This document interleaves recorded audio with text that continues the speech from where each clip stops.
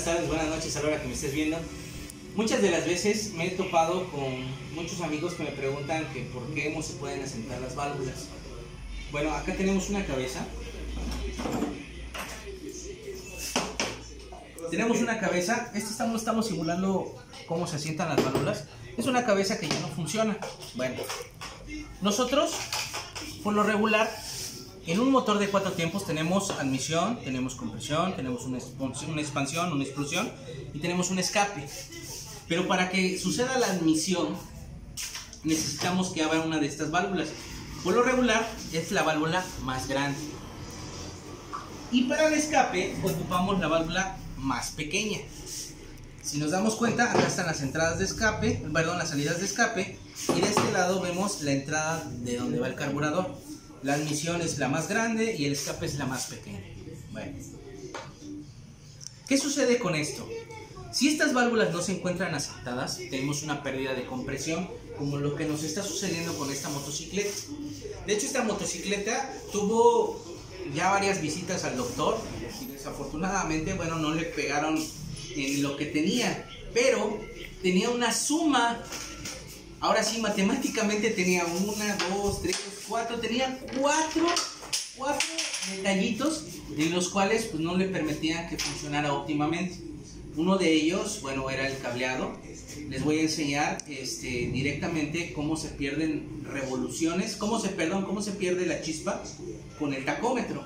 Ahí teníamos un error. Ese error, bueno, desafortunadamente lo tiene desde hace muchísimos años porque me platica el cliente que no la podía encender con la marcha y tenía que subir al ahogador. Bueno, ese era uno de los detalles y tenía explosiones. El segundo, tenía una pérdida de compresión por dos cosas. Tenía los anillos, los anillos, bueno, llevan una abertura, pero una abertura muy pequeña. En esta, bueno, estábamos excediendo, pues, se puede decir que arriba de 50, 60 o mucho más. Por lo regular es de 17 milésimas o menos, dependiendo el cilindraje que se ocupe. Aquí lo que les voy a mostrar es cómo se asientan. Para que esto no se escape la fuga, Ah, le digo, digo, perdón que me pare, pero hay que tapar la fuga. La fuga es, es muy importante. para que no se fugue la compresión dentro de la recámara, tiene que estar hermanado este metal con este. Quiere decir que este debe de estar desgastado finamente para que a la hora que este metal acople aquí, que es el asiento de la válvula, no pase el flujo de combustible de adentro hacia, de afuera hacia adentro, ni escape la presión de adentro hacia afuera. Entonces, para poderlo lograr, necesitamos de nuestra amiga pasta de esmeril, que es esta. ¿Qué es lo que pasa cuando lo llevamos a la rectificadora?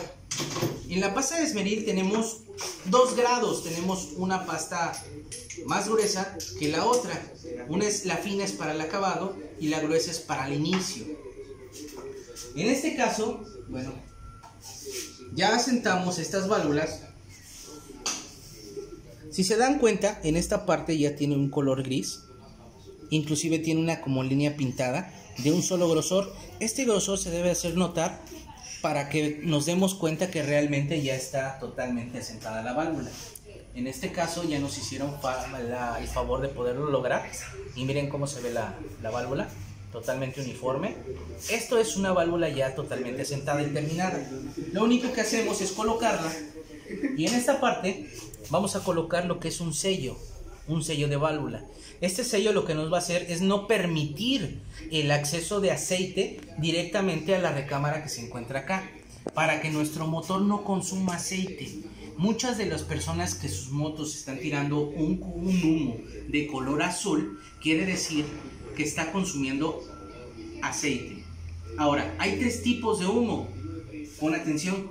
Está el humo negro, que es el exceso de combustible. La motocicleta está teniendo más combustible que aire. Está el humo blanco, que en motocicletas, no en este caso, pero en algunas motocicletas están siendo enfriadas por lo que es por agua. Estas están enfriadas por aire, pero las que están enfriadas por agua, su cabeza a veces sufre un calentamiento excesivo y la junta que tenemos que acopla el cilindro con la camisa se quema o se tuerce la cabeza y deja pasar el agua a la recámara y tira un humo blanco. Eso es agua, el consumo de agua. Y el consumo de aceite es humo azul, el consumo de gasolina es humo negro y el consumo de agua es humo blanco. ¿Sale? Bueno, ya tenemos, aquí vamos a ensamblar. ¿Cómo se ensambla?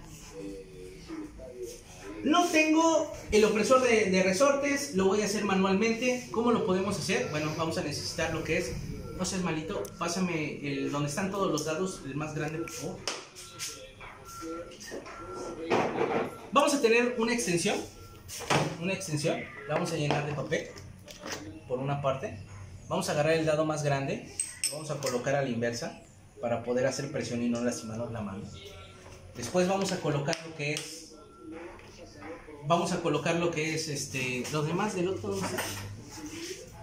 Vamos a colocar lo que es primero el resorte central el resorte que lo envuelve. Posteriormente ah perdón. Lleva una lleva una rondana inicialmente. Lleva una rondana inicialmente. Posteriormente ponemos un resorte así luego el otro. Luego ponemos la canastita y posteriormente unas muelitas. Estas muelitas van en este en este en esta canastita. Van así.